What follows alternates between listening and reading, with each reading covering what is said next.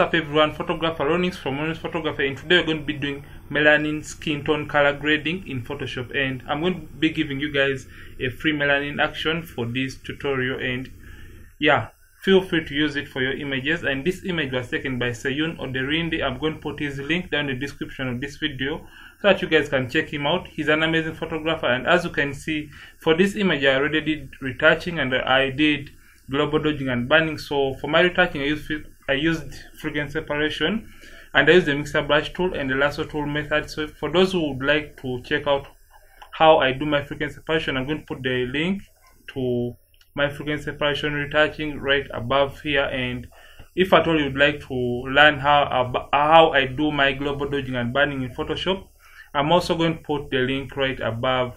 So for the global dodging and burning, it is more of adding dimension and shape to the image. Is more of controlling the portrait. So i'm going to put the link right above here so that you can learn more about it and improve your photography level or skills in photoshop. So as you can see this is the image is already retouched. And when i'm going to do my melanin color grading i prefer first of all to duplicate the background layer by uh, dragging and dropping right here to make a, a background copy or by clicking Ctrl J on the keyboard or Command J for Mac. So I'm going to come right down here and I'm going to create a black and white adjustment layer. So as you can see now, the image is already in black and white. So I'm going to come right to the blending option and I'm going to uh, click multiply. So when you click on multiply, the image will be so so dark. It will be too dark as you can see right now. And I'm just going to come and I'm going to reduce on the opacity of uh, that uh, effect you can see right now. That is done. So we are going to come right back here. And this time we're going to create a second black and white adjustment layer. And now this time we're going to come to uh, we're going to use uh, let's let's use uh, darken uh, darken is not working for us. So we're going to use overlay for the second one.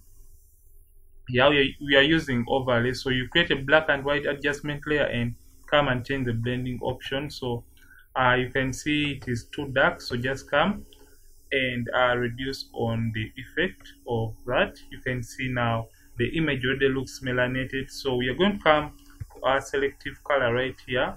Click on selective color and now are going to come to our red channel right here and are going to uh, first of all uh, reduce on uh, the yellows in the image. You can see what this is doing. You can see before after. We are now removing the yellow from the reds in the image. You can see on the red channel.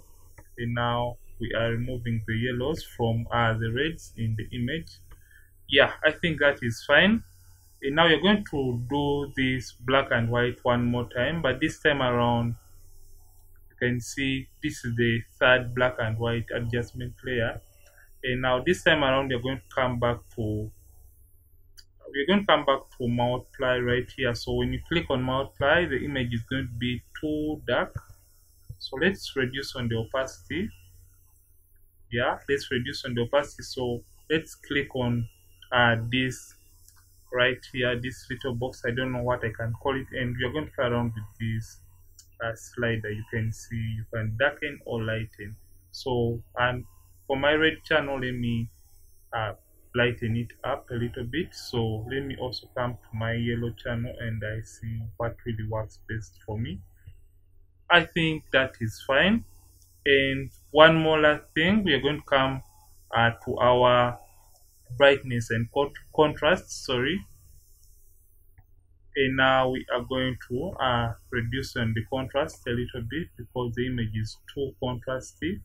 And now we're going to create one more last one. Sorry it is not uh, the hue and saturation. Uh, we're going to come back right here and you're going to uh, come our vibrance and saturation so we're going to reduce on the saturation of this image because uh, we are going in for a more melanated kind of look. So you can see now the image uh, looks melanated. So what we are going to do right now we are going to increase on the brightness. Remember it has darkened our image. So you're going to uh, pump up uh, the brightness a little bit more to get it uh, closer to what the image looked like initially. So let me group all these. Shift and I click on the lowermost layer control G to group them. You can see this is the before after before after before after. I think this is really really amazing and looks fine for me. If at all you feel the effect is too much you can just come and uh, reduce on the opacity of uh, the overall group I think 83 is fine for me for this image. So this is how you color grade your melanin images in Photoshop. And I'm going to be giving you guys uh, the LUT yeah? I'm going to giving I'm going to give you guys the LUT for free. So the download link is going to be in the description of this video. And this image is taken by Seun Oderinde. And yeah this is how we do our melanin color grading in Photoshop. And if at all you love this video don't forget to like or drop a comment in the comment section. And don't forget to subscribe this channel if at all you have learned something from this video. I'm Ronnix from Ronnix Photography. Thank you for watching and I'll see you in yet another tutorial on this channel. And stay safe